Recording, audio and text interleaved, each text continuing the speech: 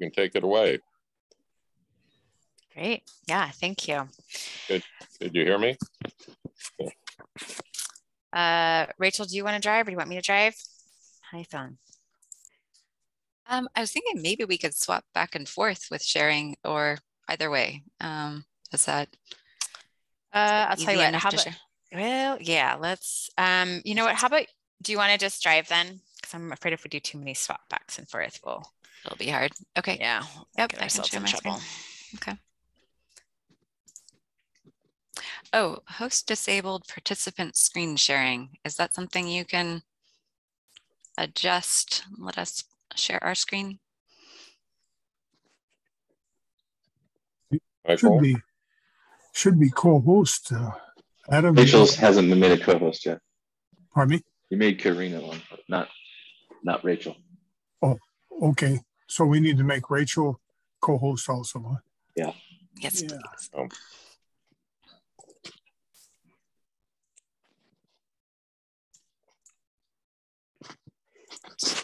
Oh, yep, there it is. Okay. All right. Let's see. Can you see that okay? You can. That looks great. Cool. Okay. All right. Uh, well, I'll go ahead and kick us off. Uh, yeah, thank you so much um, for inviting us today and um, for everybody joining on this uh, beautiful Tuesday of ours. Uh, so we are going to be kind of focusing today's conversation on on our new um, living building headquarters here in downtown Portland. Um, and I would recommend if anyone hasn't had a chance to come and see it in person, um, I we we do tours regularly and we love taking people through the space. We'll we'll do our very best to paint a beautiful picture for you today of what is all happening in this building, but there's nothing like seeing it, uh, seeing it with your own eyes. So um, yeah, so it, open offer um, to anybody uh, if you feel like coming down and, and, checking it out in person. We would love to take you through um, the space. But we're going to be framing the conversation today around this building and hopefully answer some of the questions that Bob put forth around net zero and how do we decarbonize the built environment. Uh, so with that, let's see.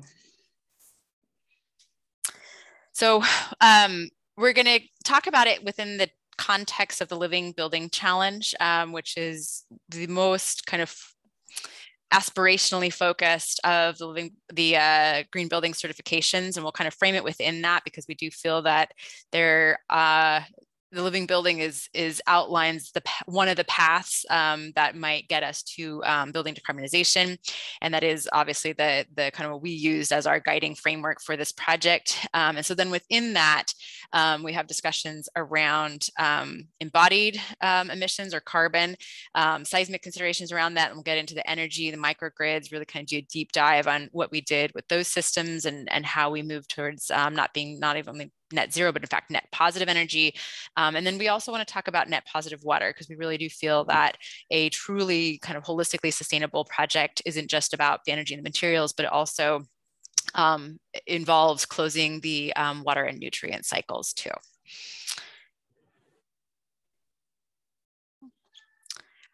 All right, so we'll do some quick introduction. So I'm Karina Hershberg. I'm a senior associate at PAE. I'm located out of our Portland office. I'm sitting right now in our living building as I speak to you. Um, so I'm an electrical engineer is my background. I was many years on the design side, um, but I have shifted over and I now am one of our regional um, leaders for what we call our regenerative design group, which is our research analysis and modeling uh, team here. And then I also lead our renewable energy systems group. And so that's the microgrids and on-site renewables and batteries and, and kind of all that great uh, future of energy uh, kind of work. And I'm joined uh, by my, my colleague, Rachel, as well. And Rachel, I'll let you introduce yourself. All right. Yeah, my name is Rachel Wrublik. I'm a mechanical engineer at PAE. Um, been with PAE for about eight years. Uh, I got into this field interested in passive solar design, studied uh, renewable energy and biology, um, and then somehow made my way over to the mechanical engineering side, um, where I focused on sustainability um, and uh, re really trying to put that holistic lens on it.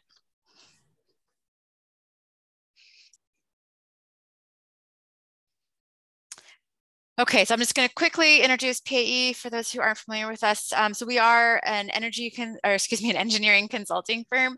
Um, we have offices kind of up and down the West Coast is sort of predominantly where we do most of our work, but we also, we've done projects around the country, particularly um, when they're very innovative, high performance ones. And we say that our, our mission, our vision is to help solve the planet's energy and water challenges. And that what we'll be talking about today um, was very much uh, a guided by um, trying to help achieve that, that vision for um, our industry.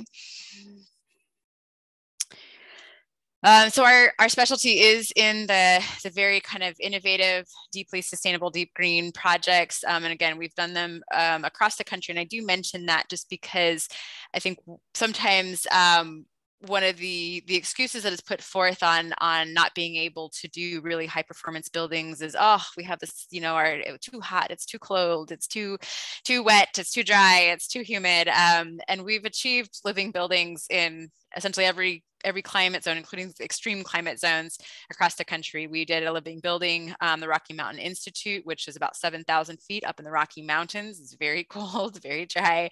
Um, and we were able to achieve net zero energy on that project. Um, the Kendeda building, which is in Atlanta, Georgia, on the Georgia Tech campus, so very hot, very humid. That one is also certified living building. And then, I'll, of course, um, the PAE Living Building. We also did Bullitt Center up in Seattle, if anyone's familiar with that. So um, our our uh, voice to the industry is that we can absolutely do this, um, and it's really just a matter of, of trying to figure out how do we do how do we do more of them, um, but they can be done um, really anywhere that we all work. Okay, so just to kind of help frame the conversation, I wanted to do a, a quick introduction on what the Living Building Challenge is. Um, for anyone who is maybe if this is a new certification program. So the Living Building Challenge is essentially putting forth the idea that um, buildings, if you think of buildings, start thinking of buildings as almost like natural systems, right? And you, the the analogy that they use is a is a flower. It's the petals that you have to achieve on it. But I think you know a tree would also be a good analogy for it as well. But it's essentially this idea of can we start um, thinking about buildings in terms of their sense of place and how they are interacting in a part of the natural cycles and systems around them. Um, next slide, maybe. And really what this is trying to push us towards is that, you know, historically sustainability um, hasn't necessarily pushed far enough, right? We kind of had to stop the bleeding before we could even start getting into the healing phase. And so um, you know sustainability has has often been in terms of how do we be less bad um, but if we really are going to get to this sort of restorative state that we need to to address the climate crisis right we need to move from being just being less bad into actually being this force of good. And so the living building challenge is what it's really trying to push us kind of over that inflection point, um, and moving us into this truly kind of restorative state and this this idea that buildings again cannot instead of just being a less bad part of the problem, that we actually can be part of the solution um, to some larger systemic issues.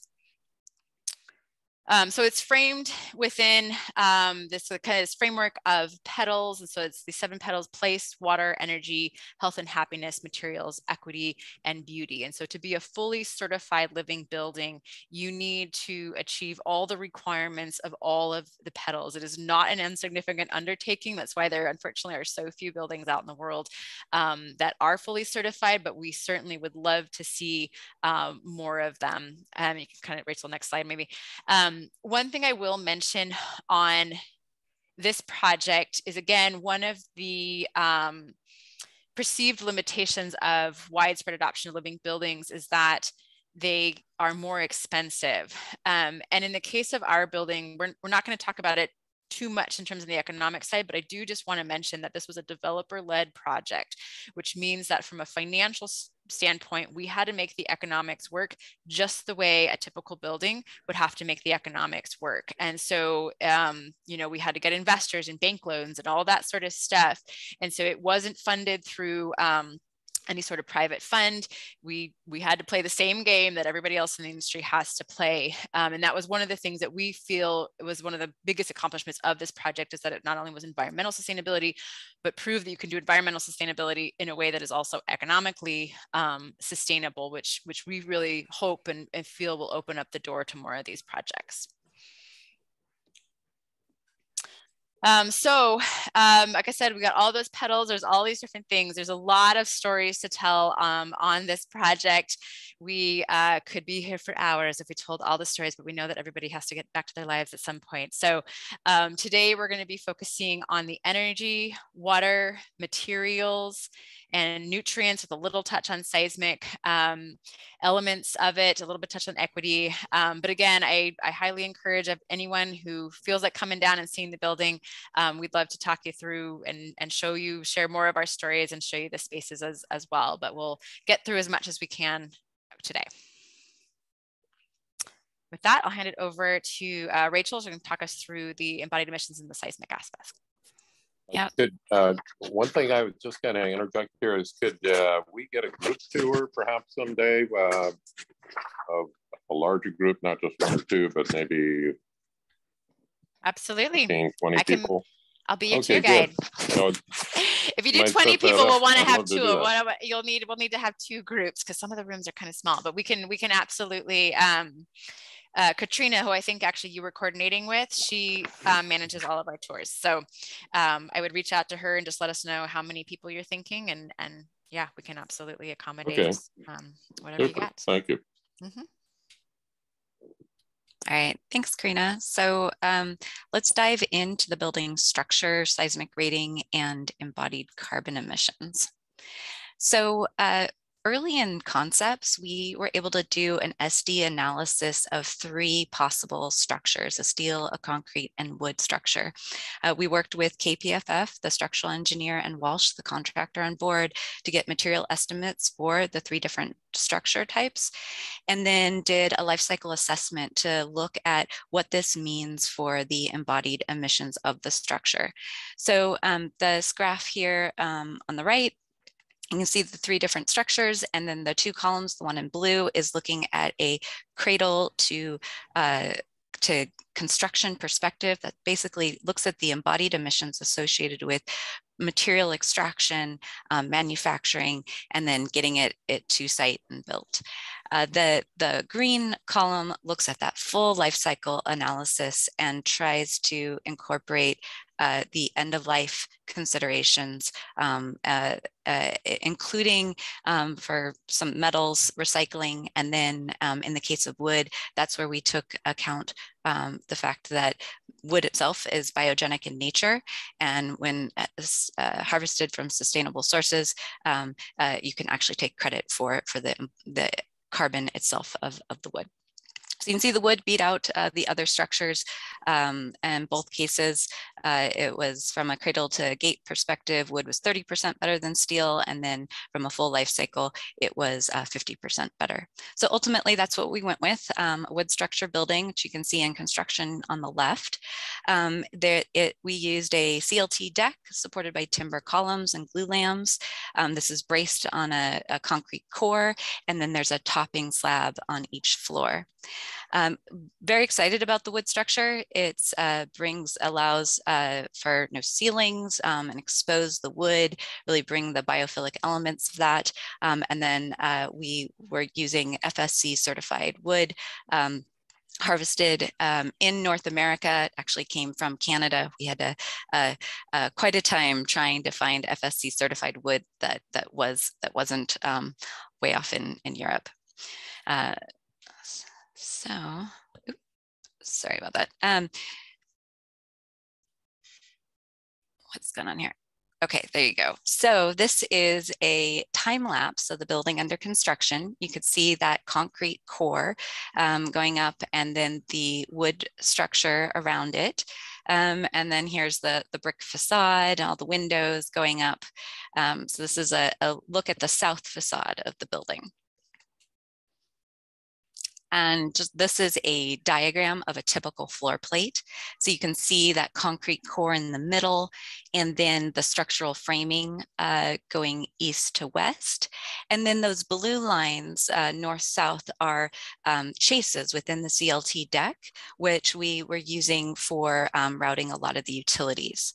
So show you that here. So this is a view looking north and you can see those, those utility chases um, up there. And so that actually allowed us to, to route a lot of the small things um, up above the, the glulam beams not the ductwork. You can see some of the ductwork on the left there. That really just uh, predominantly wraps around the core.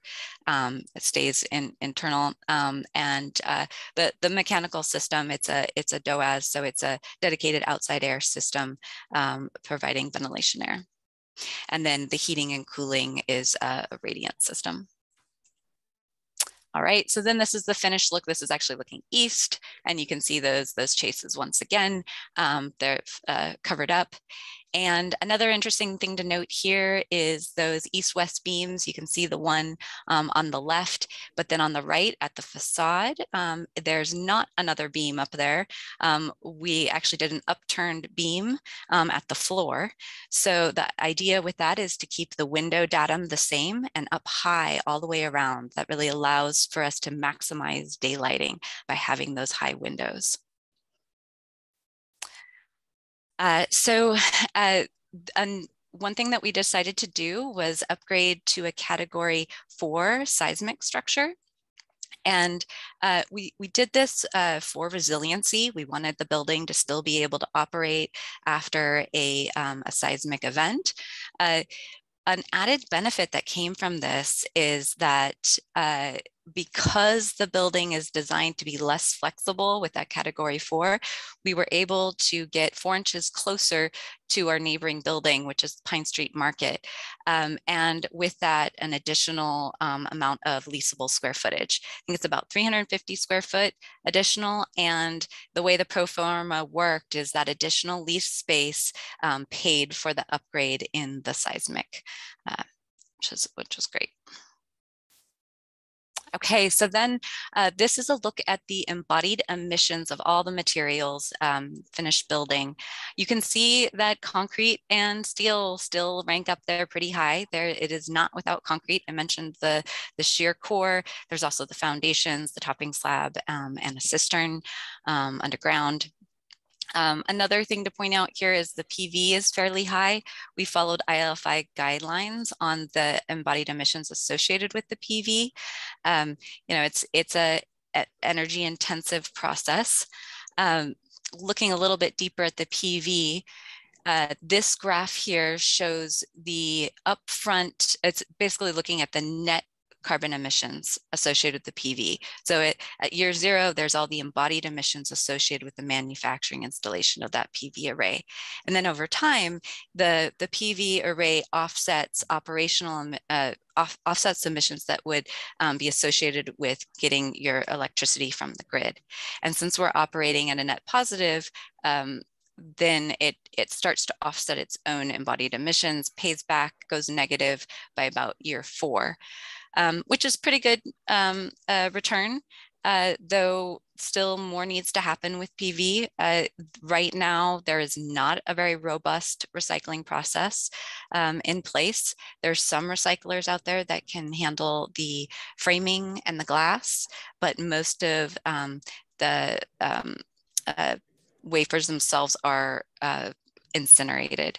So then there's some supply chain issues as well with that. Um, so something that our industry needs to work on.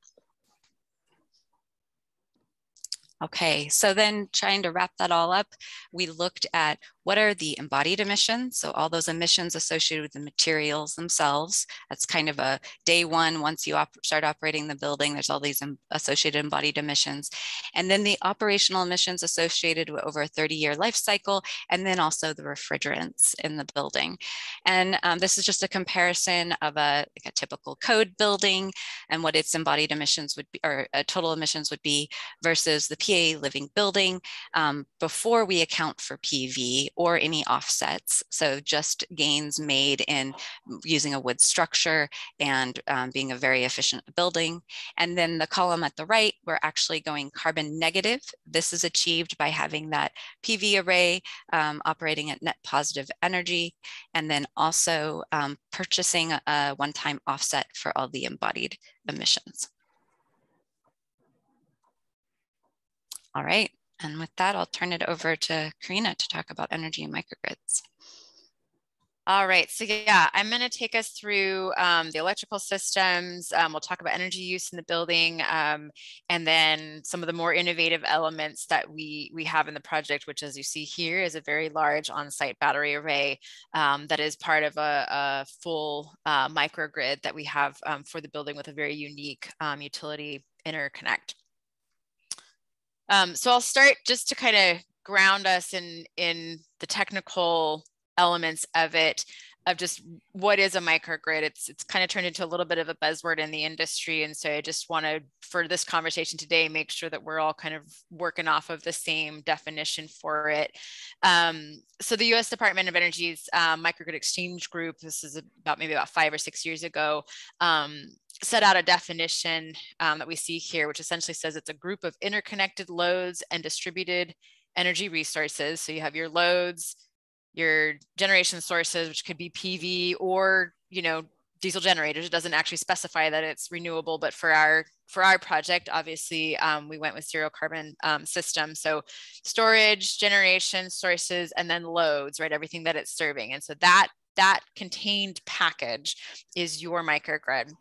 And then the part that makes it really tricky is this last part that says that it can connect and disconnect from the grid so that it can operate both in grid connected and islanded mode. And that's the really key piece to understand on that because we do see um, there's often a lot of misunderstanding around PV systems in particular.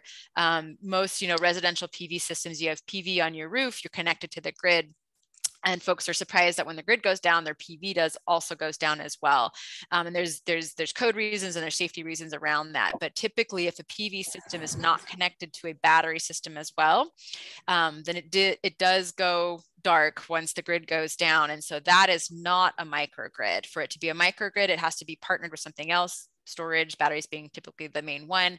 Um, that's what becomes um, a microgrid. Um, and at the same time, uh, if you have a you know building that has a, an emergency generator um, and it only operates during emergency situations, again, when the grid is down, that's also not a microgrid. So for this conversation today and for our building, the system we have operates when the grid's going and also operates when the grid is down.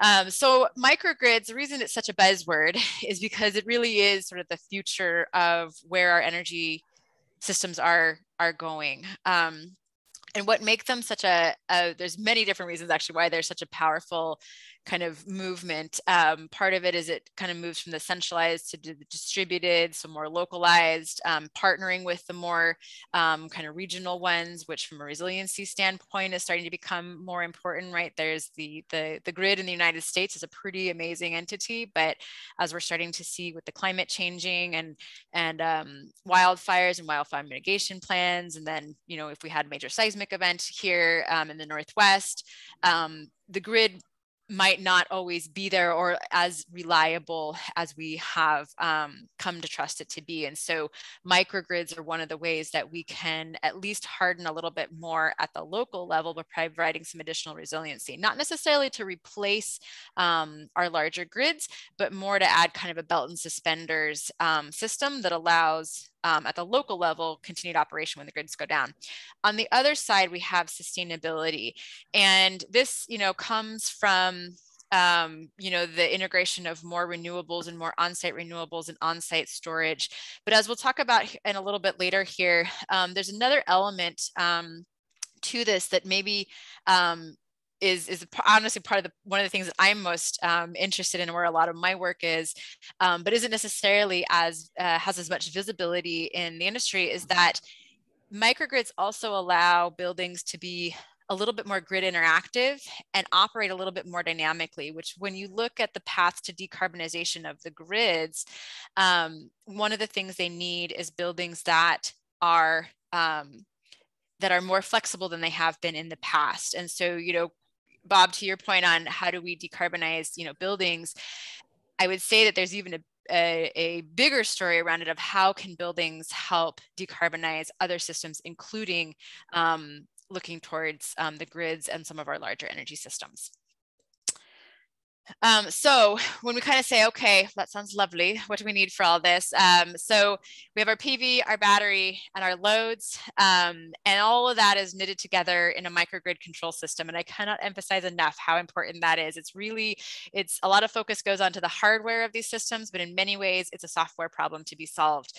Um, and the control systems are are complex, and it's an area that I would say we're going to see a lot of changes in in coming years as as more and more um, groups start to figure out how these systems have to work.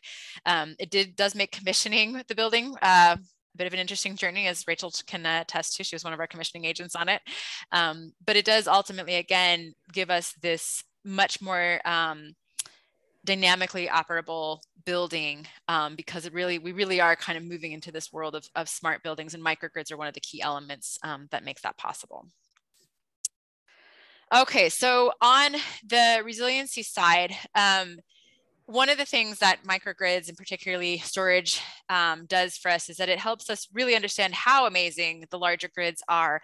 Our kind of modern lifestyle and, and modern built environment does really rely on the grids to be this uh, what almost feels like an infinite source of energy. And that is kind of how the modern life cycle is, is structured. And so when we do look at off grid, what it would take to be off grid operation, um, part of that conversation often includes discussions about what are critical loads and what are loads that we maybe don't need to have operating. So in the case of our building, if, um, if, if it was a day, maybe not like today, but maybe I think Thursday is supposed to be a little bit cooler. If it's a beautiful, you know, summer uh, day in Portland with, you know, nice temperatures, lots of daylight, lots of sunshine. Um, we could potentially operate, you know, large areas of the building. I think when we ran the calculations for 100 days or more. Um, if it was the middle of December and it's rainy and it's really cold, we're probably looking at a shorter timeline and maybe a couple of weeks um, with less loads. But in any case, we have a path towards operating a building for a long duration, right? In a major, in the event of a major outage, um, either at a high level of operation or at a minimum a critical loads um, you know kind of level of operation um, for for an extended quite an extended period of, of time. Um, and we do feel that this is in terms of you know we're kind of talking about sustainability but we do feel that resiliency is part of the sustainability story um, and what buildings need to be thinking about as we start to move into um, you know somewhat more uncertain uncertain times and and climates that are that are starting to change all right so um, this is this is kind of a lot on this slide here but i wanted to talk through this again this gets into that that point that i mentioned around how can buildings and the energy systems in buildings help with decarbonization, not only of the built environment, but help with decarbonization of the larger grid. So this is a, just an example project um, that was a, a building in, in California and in California, if, if you're familiar, it's kind of the very famous duck curve, right? Which is the idea that they have um, been very successful in um, the deployment of solar. And they have a fairly, or have historically had a fairly mild climate, although they're certainly getting heat waves these days. But uh, fairly mild climate. And so you could end up with conditions on a, you know, nice spring day, for example, where very low loads in the middle of the day and lots of solar production, sort of this kind of imbalance in, in how their loads and their productions are lining up.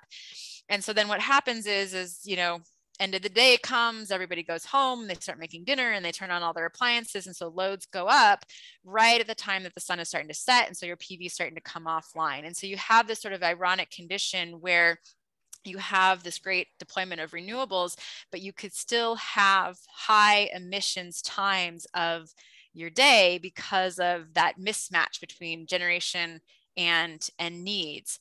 And so one of the things that we're starting to look at is how do we address that that sort of those sort of unique conditions on the shoulders of, of the day. And one of the ways that we can do that is by using um, batteries and you can do it through microgrids or you can do it through just a grid connected system.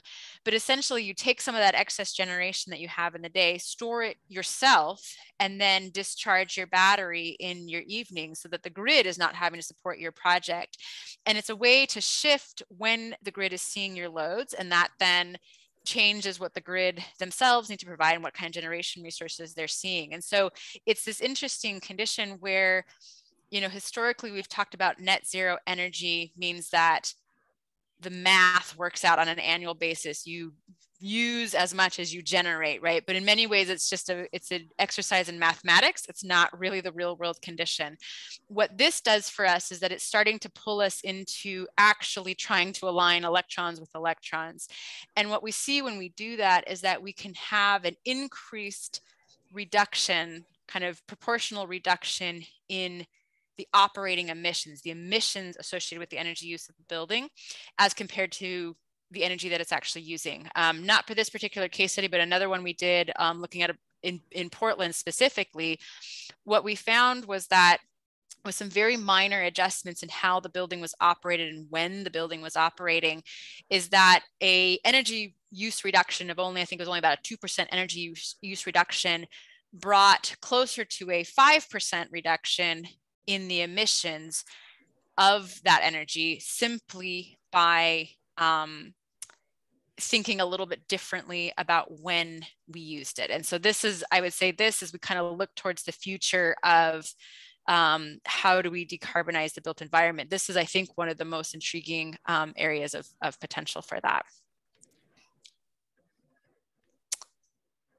And where this leads us is, um, you know, into this idea of how do we how do we start scaling this up and and again bob i liked your perpetual motion that decarbonized buildings the same thing as perpetual it's a nice idea but physically impossible um, you know i think this this this idea of grid interactive buildings um, I think is one of the keys to getting us to that is that we stop thinking of them as these individual units. I had a colleague who made a comment I love that buildings are social creatures and we need to think of them as being social creatures and think of them in these networks and these larger communities and start thinking about how can we operate not just a building but cities um, in these more dynamic ways. And that's our project um, is set up to be that. We have a we've um, have a very good relationship with Portland General Electric, which is the utility serving um, our part of downtown.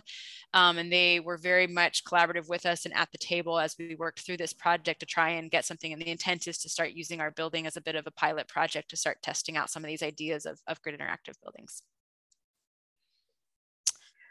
All right, so that's kind of the, the real big stuff. So now I wanna pull us into um, just talking about the energy use of the building itself um, and how we how we address that and how we met the um, living building petals uh, requirement of being net positive energy. So living building requires that you're 105% net positive, which means that not only you're generating 100% of your building's usage, you're generating 105% of your building's usage on an annual um, basis. Slide. Um, so we are, um, you know, tracking on on achieving that.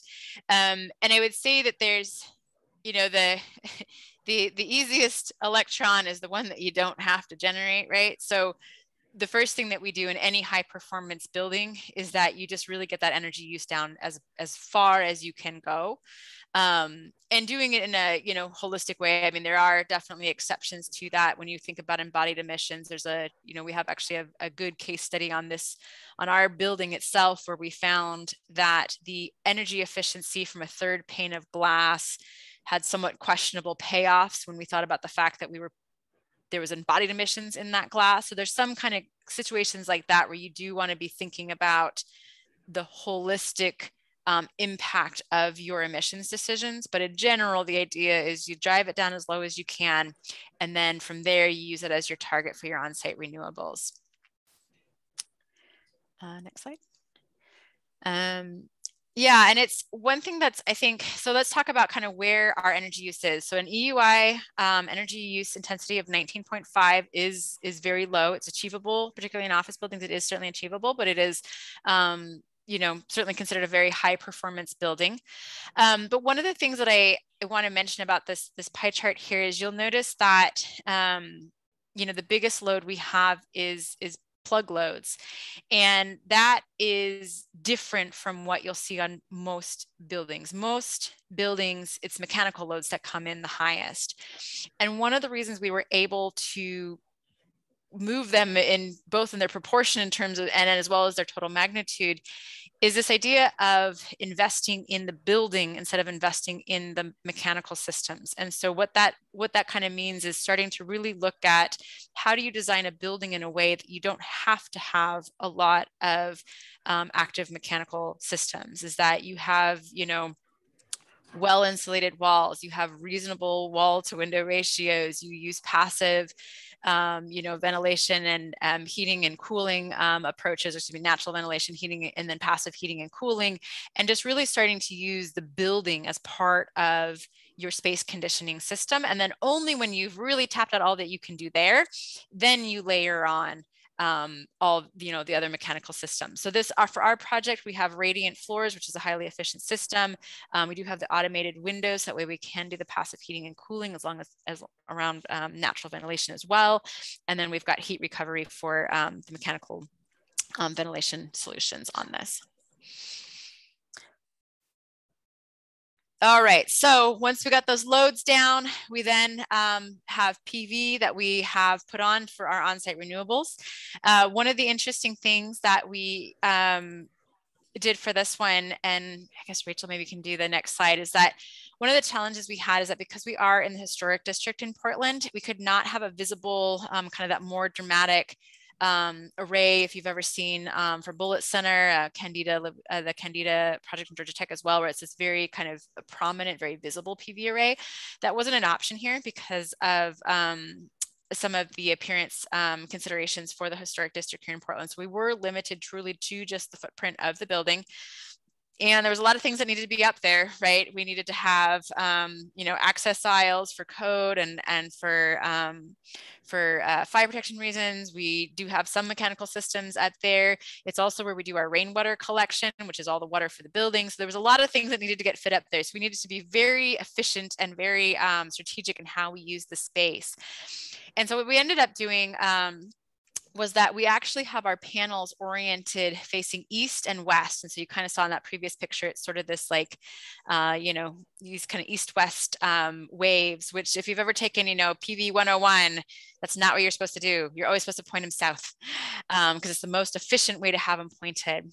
But what we ended up finding when we modeled it was that although we do take a little bit of an efficiency hit, by having it east-west, we were able to increase the number of panels on it. It's a much denser layout, as you can kind of see here, than we would have been able to do if they were all south, because you had to have spacing so they don't shade each other. And so even though each panel is a teeny bit less efficient, overall, our production increased because we were able to fit more panels on. And so it ended up being a really creative solution that helped us get it closer to that goal of having our on-site production. The additional advantage is that um, it changes a little bit that profile of when we get our energy production. We get a little bit more evening, a little bit more morning, and it helps extend the number of hours each day where we're able to run off of the energy produced by our system. Okay, the last one I want to just touch on here is just, um, you know, Portland, like most of the major cities on the West Coast right now, um, we do have um, a social crisis that's underway um, regarding affordable housing. Um, you know, there's we on any given night have um, 2,000 people who are sleeping on the street, another 2,000 who are sleeping in shelters, um, and then um, upwards of 12,000 who are in some other other form of, of you know unsecure or unsafe housing. And so this was on our mind. Like I mentioned, you know, at the very beginning, Living Building does have a social equity um, element to one of the panels. And so we wanted to think about how we could probably achieve that at a local level as part of our project. Um, because of the space constraints on our roof, we were not able to get everything on our roof in terms of being net positive energy. And so we do qualify for an exception in Living Building Challenge to have part of our system um, located elsewhere. And so we decided to partner with a nearby affordable housing project that was just a, just a little bit north of our site, still in the same um, PGE, same utility region. So it's still very, very local. Um, it was an affordable housing project that was in, in construction at that time. They had um, designed their systems to be PV ready, but they did not have the capital to install the system, actually install the system. And so what we ended up doing is donating the rest of our system to meet our net um, positive goals. We donated the panels to them and so that they could be installed on their building. So we get the, the renewable energy credits that we need, so kind of the paperwork that we need to meet our living building requirements, but they get the actual, um, you know, generated electrons, which offset their operating costs. And so it saves them about $20,000 a year in operating costs, which is money that can then just go directly back um, and to their programming. So um, yes, again, like I said, we believe that you know resiliency is part of the sustainable so story. We also believe that social equity and community building is part of the sustainability story, and we were um, really happy that we were able to kind of integrate both of those elements into our work on this project. And then I think we're going to finish it up uh, with water, water and nutrients. All right, thanks, Karina. Yeah, so uh, we'll talk about the water petal nutrient cycle and how these manifest in the building's water systems. Okay, so let's start by following the water and the nutrients. This is a section of the building um, from left to right. We have the lavatories and showers. These are our primary users of potable water. And then we have the almost waterless urinals and the, on the right, the vacuum flush toilets. So starting the journey with the potable water system, rainwater is captured on the roof and then it fills a 71,000 gallon cistern. The cistern is cast in place below the ground floor of the building. And then on a daily basis, water flows through the potable water treatment skid, um, where it's monitored, filtered, sterilized with UV and chlorine, and then pumped to a day tank and a booster pump station. From there, it flows to the fixtures and to our heat pump water heaters. Uh, so then when water's used at sinks and showers, this water goes down the drain and heads to the gray water treatment system where it's filtered, sterilized with UV, stored in a gray water tank, um, and from there is used for irrigation and flushing the vacuum toilets and occasionally the urinals. All right, so outlets from the urinals and toilets are a mixture of water and nutrients. This is traditionally considered a black water system. Um, here we call it a nutrient recovery system. The vacuum system pumps water and waste um, from the water closets to 20 compost bins for processing and eventual return to the soil. And then urine from the urinals flows to a nutrient recovery tank, um, shown at the bottom there. Um, uh, where we'll uh, periodically we uh, use it to make fertilizer. So in essence, the building becomes a bit of a nutrient machine. We take water from the roof, we add in people and their nutrients, um, and then eventually we concentrate it to close the loop and return that back um, to the land. So go through a few photos here. This is of the rainwater cistern um, during construction. You can see the concrete sides there. It's about a 1600 square foot footprint. It's an L-shaped under on the first floor of the building, under the first floor of the building, um, about six feet tall. This is a picture of that nutrient recovery tank as it's being lowered underground. Uh, it's got a baffle down the middle. On the left is uh, for the urine, and then on the right, um, it collects the leachate from the composters. All right, so this is um, uh, in our utility room. Um, most of this is water systems. Uh, you can see there is a hatch to the cistern and then we have the potable water treatment skid. There's a number of filters, different micron levels, uh, and then a UV, which is actually behind that control panel. Um, so it goes through the filters and then the UV sterilization. Uh, we and then it's pumped out to the day tank. There's actually two day tanks. Um, one's just hidden there.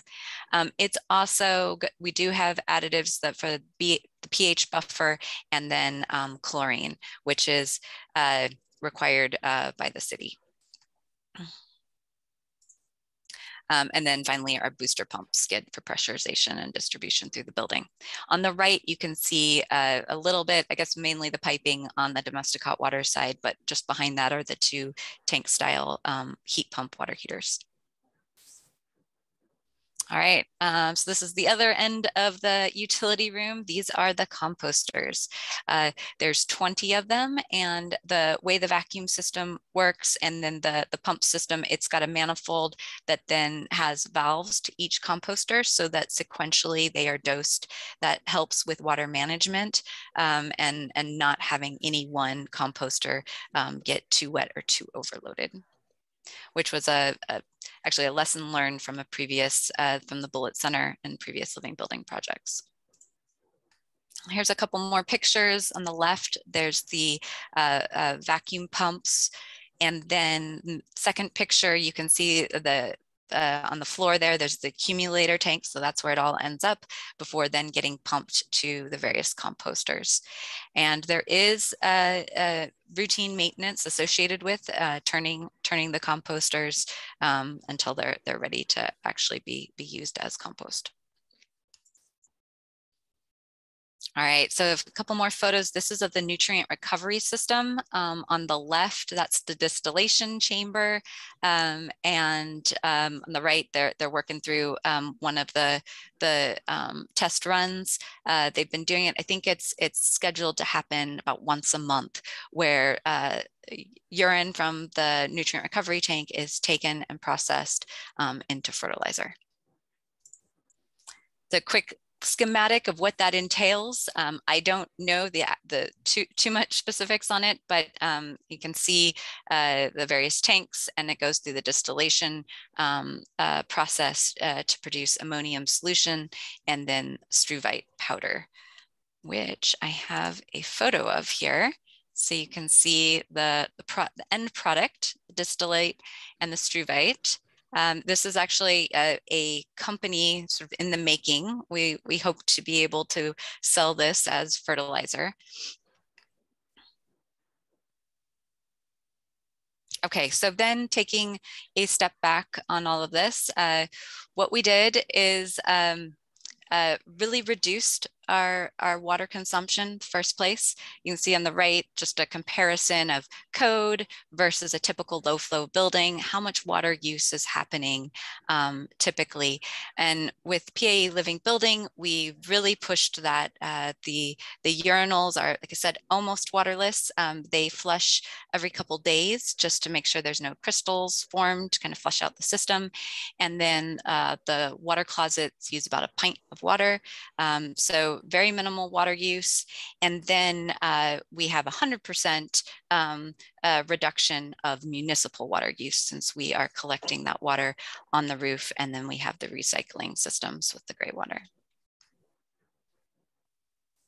So really what we're trying to do here is uh, fix a, a, broken cycle. Um, in today's modern age, we have a very linear uh, process for uh, growing plants and food, and then uh, managing our waste. Um, and that on the bottom, you can see what, what we're trying to do here is really close that loop and have, have what you eat then become the, the fertilizer for, for the plants to grow.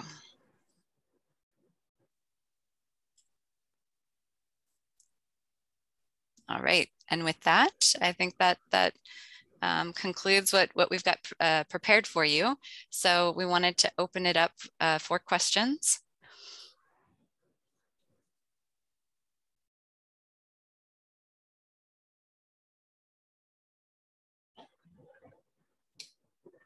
Any takers? And silence. Uh, for, for, for the uh, the water system, what happens if it doesn't rain for two or three months? Yeah, so uh, the the cistern, it's a 71,000 gallon tank. It is sized for on an annual basis. So we looked at our water use annually and our water consumption and modeled it so that we have, you know, a, a full tank coming out of the rainy season can get us all the way through the dry season. Um, so it's in that sense, it's it's not it's a, a bit oversized, I guess, as your battery um, to handle those dry months. We also have a, a potable water backup if we ever need um, to use the, the municipal water system. But the intention is, you know, li Living Building Challenge is a performance-based uh, um, certification. And so we have to demonstrate that we really are net positive energy and that we aren't, uh, we're not uh, discharging waste to the sewer system or using water from the municipal side. Right, thank you. Mm -hmm. Hi, Rachel and Karina. Great presentation. Thank you. And good to see a fellow OIT hustling owl, hey, Rachel. Hi.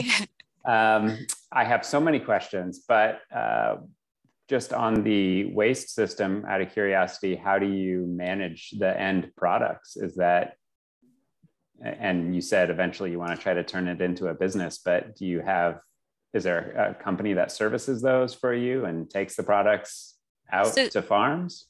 Yeah, so I mean, it's all still kind of in the works. We're in the tuning process right now. Um, so uh, this for the uh, urine um, turn into a fer fertilizer that is becoming a company. This is Biohabitats uh, as and Pete Munoz with Biohabitats is leading that effort.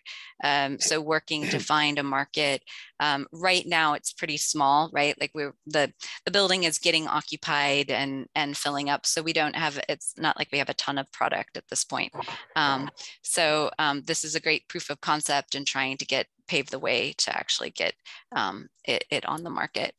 Um, so that's on the urine side. On the compost side, you do have to get someone to come and take it um, and, and put it out on the land. Uh, it wouldn't be used on uh, uh, agriculture farmland, um, but still can be used as a, um, as a soil amendment. So I don't know who's handling that. Um, I mean, we do have a facilities uh, team um, that, that helps uh, with the, the routine maintenance of the composters and all that. And did and, you guys look, did you do any financial analysis to see if the cost of the system, uh, you know, how long it would take to, to get, get it paid for? On the urine, the nutrient recovery? On, yeah, on both, on, on it as a whole.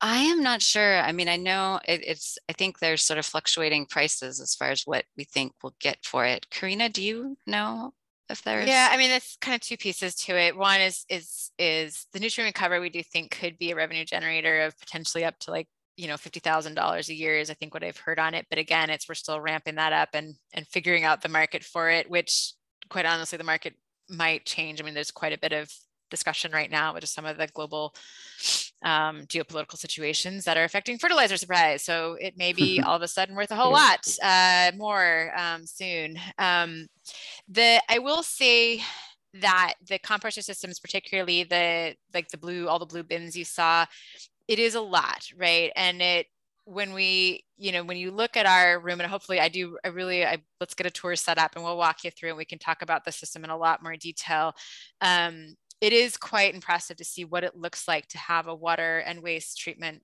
plant in your building, right?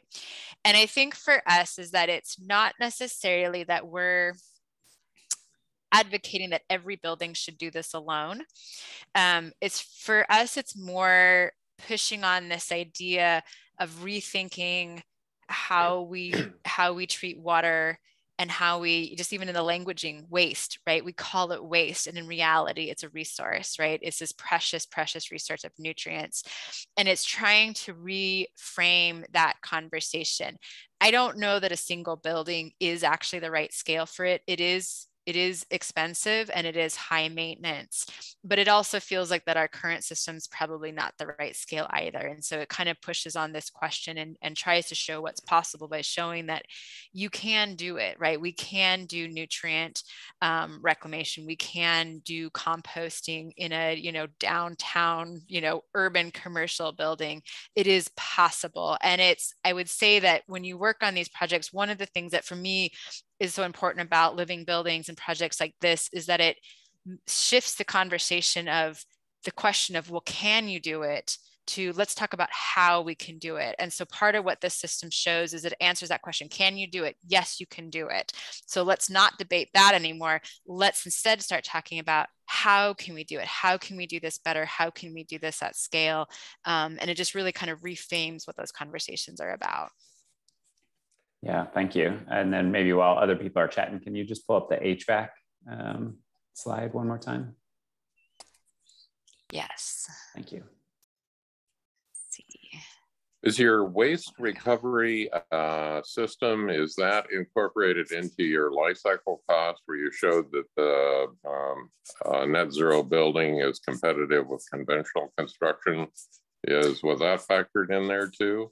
That, not uh, any not any revenues from it but that is a good point that the cost of the system is like that is part of our pro forma had to work with the cost and it is i mean the the plumbing system on this was an expensive element um, but the pro forma works with that system right? So we have an on-site power plant we have an on-site water treatment plant on-site waste treatment plant and all of that was possible within that successful pro forma right with certified operators um, for the the water side. And I take just to, to Karina's point it, it it costs money and it also takes up space. So we have a, a, a rather large mechanical room but in the reality the mechanical equipment is pretty minimal and, and fits in like one little corner whereas the majority of it is is really water side systems um, and electrical What, what, do you see as the demand for this kind of construction? Are you by having people just beat down your doors saying, I want a building like this? Or are you having uh, um, to really market hard to develop interest in it? And what is the level of interest right now? And, and uh, it's, it's, fascinating to me. And I think that there should be a tremendous market for it. But uh, what's your experience in that? I mean, we're we're fairly busy. Um, so that's good. Um, but we would love to see more of it. I mean, I think so again, you know, we we have been very lucky to to work with wonderful clients around the country on high performance building with um, really you know forward looking goals and i this is certainly elements of this we but we would love to see more living buildings specifically and and again that was part of why we wanted to do the project the way that we did and have it be developer led um, because it sort of did a little bit of that myth busting on terms of the financial aspect of it. And so we very much hope that by getting um, not just the technical story out there, but the financial and that kind of economic story out there, um, that we will start to see this done at scale instead of just being kind of these, um, you know, single successful projects. We want to see whole cities that are are like that. So, um, yeah, you know, we gotta got to get the word out there that it, it can be done and um, that we, you know, this, this can be done and it can be done in a way that's economically responsible as well. It's pushing one o'clock and I see there's a couple of chat questions. Uh, uh, Queen yeah, Rachel, can you see those? Uh, oh, I yes. Let me see. I can pull them up. Um, Do we have um, someone with their hand up as well? And Mike, I, I have a quick question while you're looking at that. So I actually two.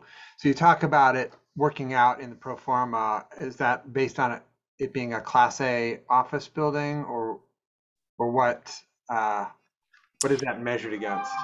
Yeah, so it is. So it's it's uh, office building. I'm trying to think if we did mixed use at all. I don't think we did. I think it's predominantly at this point is all class A office um, on each floor, if I'm remembering correctly. Yes, I can't think of anything we did that was mixed use. So yeah, it's a Class A office. Okay, so I, I'd be curious, and, and I would very much like to come take a tour. Um, but I'd be curious to know what that translates to when you start thinking about public buildings, where um, you're not necessarily creating a pro forma because it's not ever meant to produce profits. It's simply how much does that cost relative to what it's doing. Um, so that's that's one piece, and we could do that when when I come take the tour. But I have another question. Uh, I was fascinated that you talked about you couldn't do your array like you had done on the Bullitt Building because of Portland's historic uh, designate or yeah historic designation on the downtown. Um, how much of a difference in the array do you think that made? What like a percentage or a yeah, so I mean, our to the size of the array that we we needed to achieve that 105%, which is actually um, we're engineers, so we we always have a little bit of a buffer. So it's more like 110, 120% or 115 because you want to make sure you've got give yourself some some grace. Um, but to the array, our total array size between the two sites, between our building and then um, the affordable housing project, it's about 40% of the array lives on our building and about 60% lives on the other building. So it would have been a fairly significant um, overhang to it, um, which is, I mean, is the case in in for most buildings in terms of the the roof it at least when you're doing the multi-story ones i mean it's fairly easy to do it in a single or two story um, once you hit about four and certainly by five and we're, we are a five story building is where you really start to get an, a top hat that's much larger than the building's footprint. Um, and so I that's part of also why we wanted to tell kind of the story of why we chose to go the way that we did. Um, instead of trying to push on on the local codes around it is that what we ran into in a challenge is going to be a challenge for most five story or higher buildings. And so thinking creatively about how it can maybe be at a community scale instead of a local scale um, we think is something that would maybe open the door to net zero net positive um, kind of approaches to to more buildings. We also oh, oh go ahead was uh, just to add on to that, um, you know, you, you, notice in the mechanical system, you know, we're using rooftop uh, uh, heat pumps, you know, air source heat pumps. We didn't do a geothermal uh, system, which would have been really costly um, so in, in, terms of having this being a developer-led building um, and having it take, pay back, we have very efficient systems, but not the extreme efficient possible, right, to keep it economic. Um, we also, as Karina mentioned on the plug loads, you know, there, you know, we reduce all the other loads and there's still this big, big pie of, of, of plugs and server loads. And, and even though that's showing high, we did a lot of work in trying to reduce those, being really efficient in how we designed um, uh, uh, even even you know the, the networking side of things and um, but while still allowing flexibility because these are going to be leased spaces and not putting so many constraints on on the the tenants Great. Cool. thank you is, uh, is there an email address or something i would use to to schedule a tour it would be katrina's yeah, you know what, what, Rachel, maybe just put back to the put the last slide up there. Yours and mine's mm-hmm. addresses are on that, um, and I can put it in the chat as well. I'll put mine into the chat, and feel free to just reach out to me, and then I can connect you um, with uh, Katrina in our office, who schedules all the arranges all our tour arrangements. Cool, thank you. Um, and I guess I can quickly, some of the ones in the chat here, um, correct, we do not have hydroponics or aquaponics on the project. We do have um, a little urban ag area though.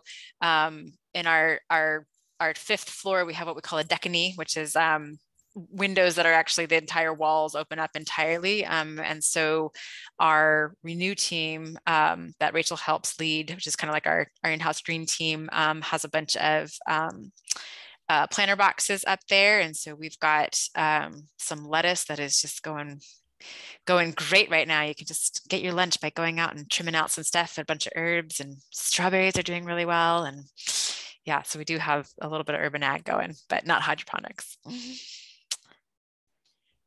Might I say that uh, there's a couple more questions there. I wonder if we might, uh, uh, I had a, a, couple of announcements. One is uh, a question uh, for Rachel and Karina. Uh, we like, if possible, to have the power, make the PowerPoint available and the uh, recording available uh, to other members. Uh, is that okay with you? Yeah, absolutely. And we can um, send a, a, PDF version of the the slides um, to share. We'd appreciate well. that. We'd appreciate that. And and then uh, also uh, oh, if anyone wants to get a professional development hour uh, credit, please uh, send an email to Mike Unger at Comcast.net. And uh, with with that, uh, uh, if people want to stay around for a couple more questions, please feel please feel free to do that. I know you have a couple of chat questions there.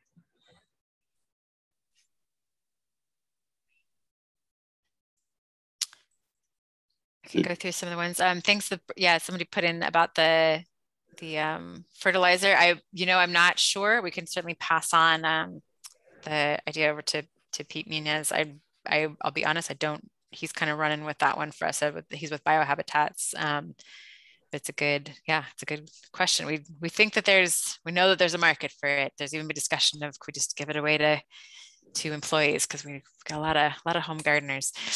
Um, there's another one here about would it be possible to retrofit buildings to be um, I'm assuming it's net zero or or uh, maybe net positive.